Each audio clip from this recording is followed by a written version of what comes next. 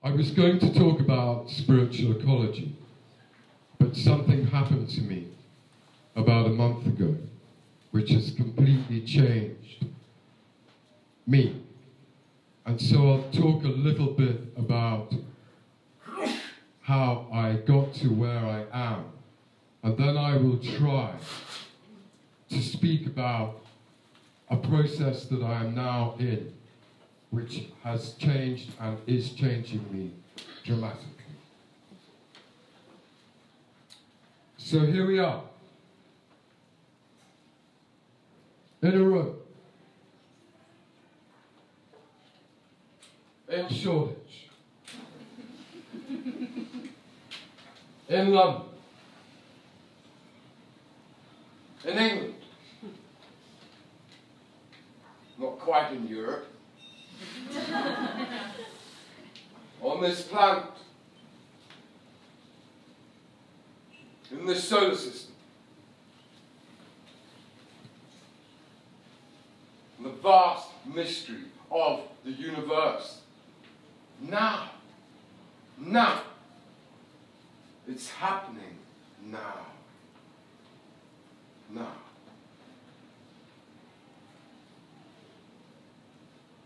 I got up this morning. It is my path to walk up a hill. I live in a tiny village in Sussex.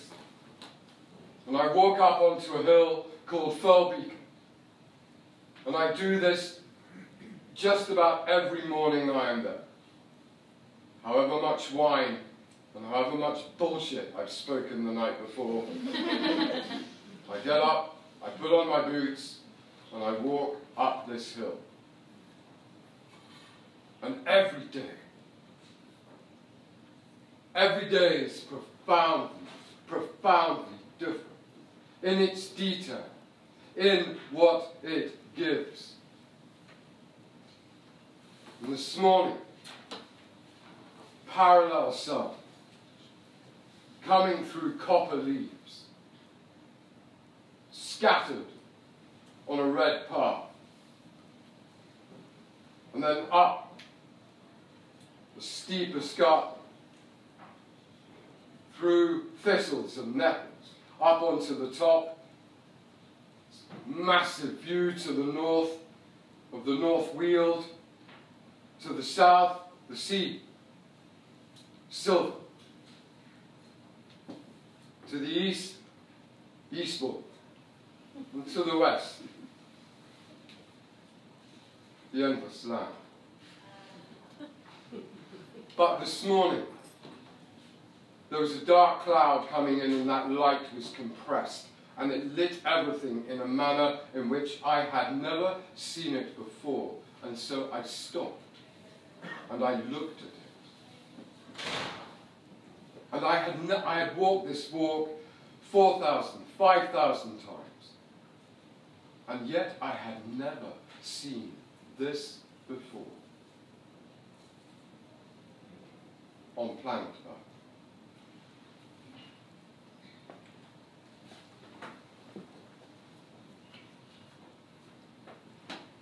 The warm flesh of the forest speaks, formed and spun from sleep. Did you not know? You emerged from broken stones, contaminated scent with words, healed the dead grief into the ground. See,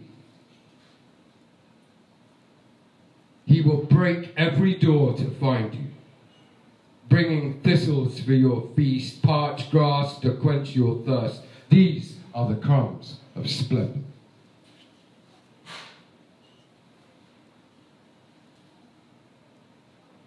The state of nature, constantly given, constantly laid out before us. When we walk into pristine wilderness, we are walking into the reality of immaculate conception, and as our grandfathers and grandmothers knew, into the dreaming. Have you ever been in pristine wilderness? You will know it. It will speak. You will feel it. I thought there was no pristine wilderness left in this country. This summer, I stumbled into a little parcel in the middle of Dartmoor. A river, butterflies everywhere, cormorants flying in from the sea to fish, swimming in this clear water, just a tiny little fraction of land. And it does something to us. To be in that presence where the earth begins to speak through us. Every hair on your head, every thread on every feather, the fierce teeth of the fox, the stamen, the petal, the rendered hills, the deep, the silence, the desire of the storm. Immaculate conception didn't happen once. It is happening all the time.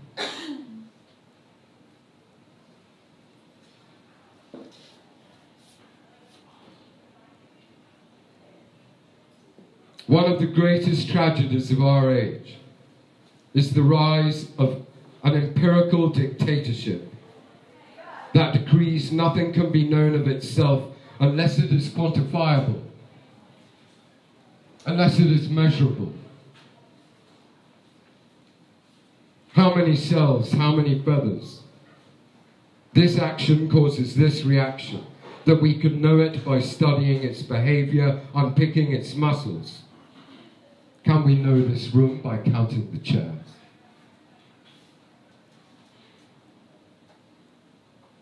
In his recent book, Robert Macfarlane writes, only that by instrumentalizing nature, linguistically and operationally, we have largely stunned the earth out of wonder.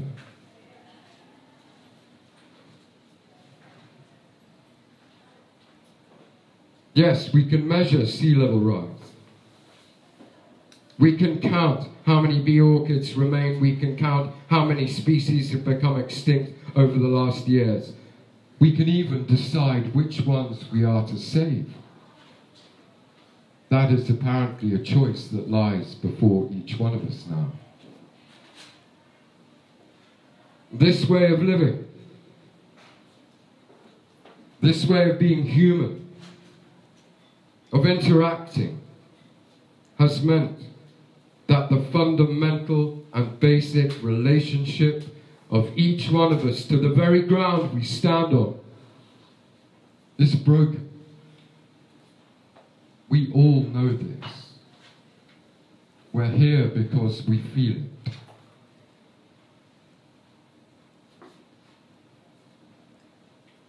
And more tragic still is that this way of being, we are told, is progress. The reality of global warming, the tragic narrative of species extinction, of soil depletion, happens within the narrative of human progress. This is progress?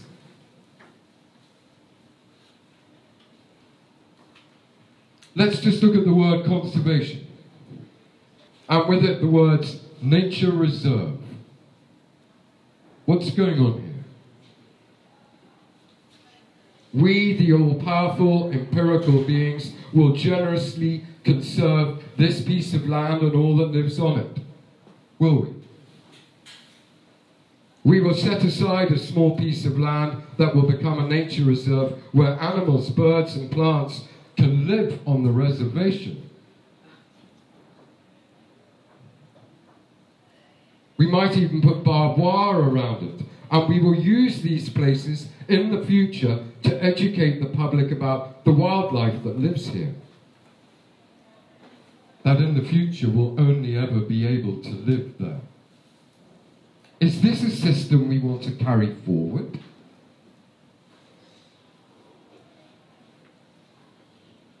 This is what the RSPB do. They do good work.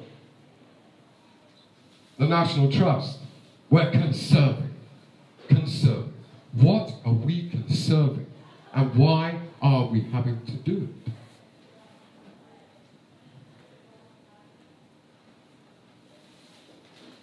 Does anyone really believe that delivering aid to refugees will stop the war?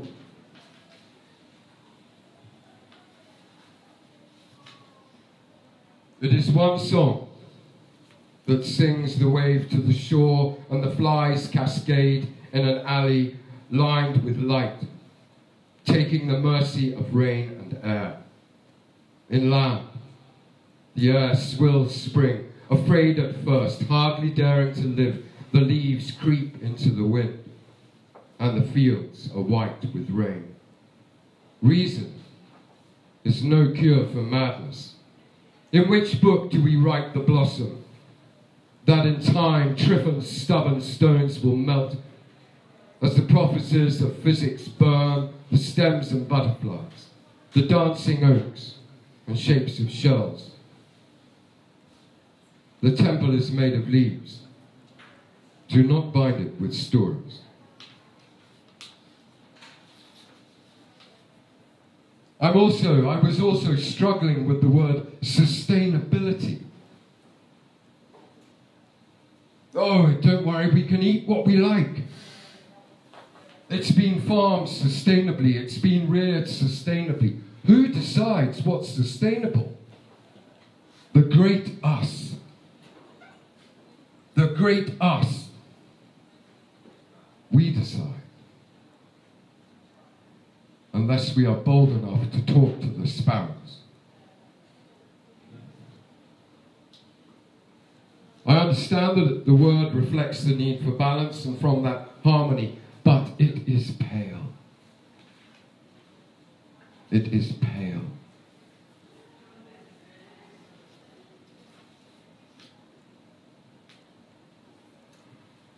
We have never lived in peace with the earth. It's all very well to romanticize our brothers and sisters living daring to live far closer to the land, and we do that. There have been bad times as well. Anyone who has read Jared Diamond's book, Collapse, this is our story now. We are overspending. What is happening here on this beautiful planet resonates out into the universe. Right now, this planet is in pain. We are in pain. Don't be afraid of naming it, of knowing it. Don't be afraid. And don't be afraid of feeling it.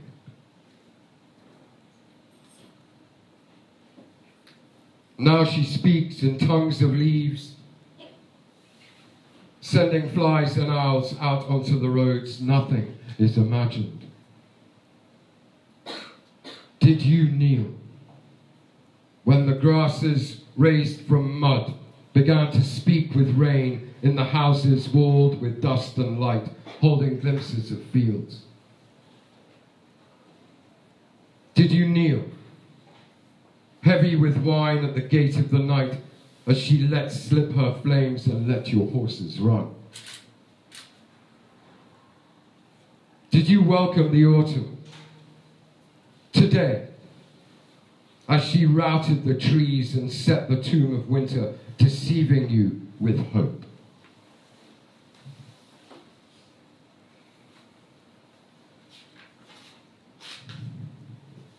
And now this,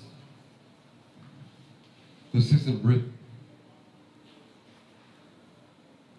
We are not involved in rescuing the planet. We are rescuing ourselves.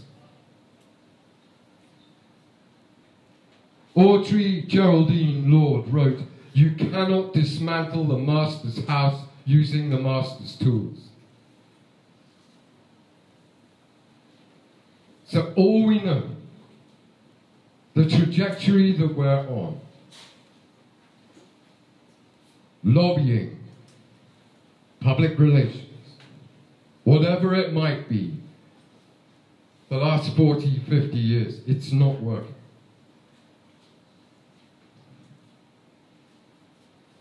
We need now to think and feel very differently about being a human being. This is, as Martin has said, this is a tragedy, but from it, we can only emerge from it. We cannot go forward with the current doubt.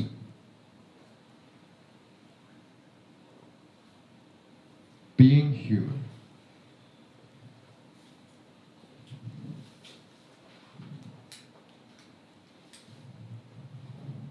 Look at this.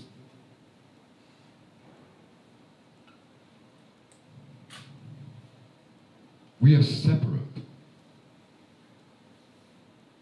Individuality. You, me. What has it done to us? What has it done to us? The cult of the individual.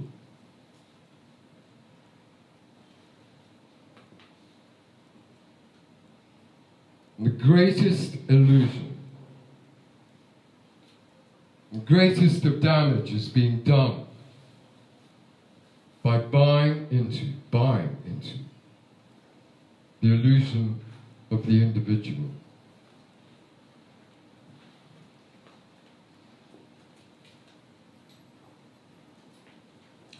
Okay, I'm going to ask you to take one more breath, very deep breath.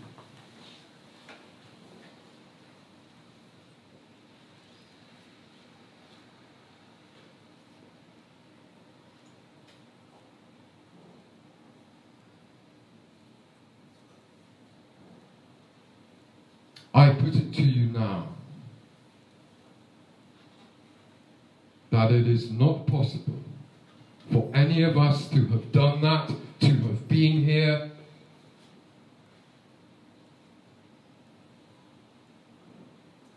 Without the rest of life. We are not separate. We are utterly beautifully interdependent. We cannot take one breath, the fragility of one breath, without the oxygen that is being produced.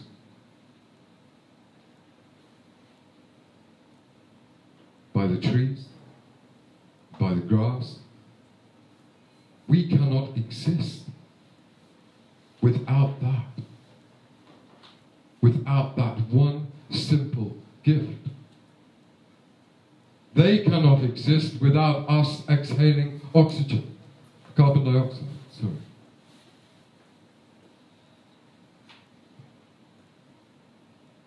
The earth cannot exist and spin in space, isolated from the forces around it. Men are not separate from women, women are not separate from men. We are utterly interdependent. The past, the present, the future are utterly interdependent. We inhabit an interdependent state. We are not these kings. We are not these queens. We do not have one breath without the reality of existent life in all its other forms.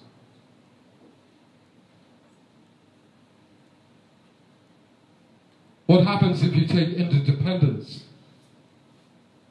into the realm of politics? What happens if you take interdependence into the workplace, into the marketplace? What happens if you take interdependence into agriculture?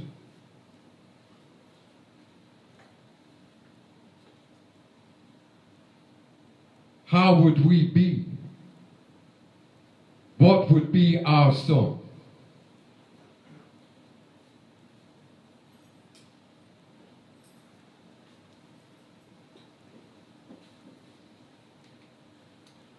When we act from a place of separateness, which is what we have been doing, we break the covenant with the rest of life. And that is what we now see unfolding before us. When we act as utterly separate beings, separated beings, we break the covenant with the rest of life that sustains our very being. As Martin has said, there is not one story that is going to rescue us. There are going to be many.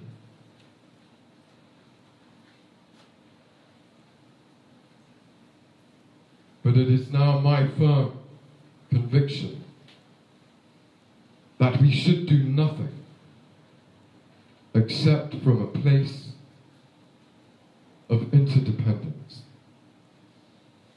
To grow our food, our relationships, our science,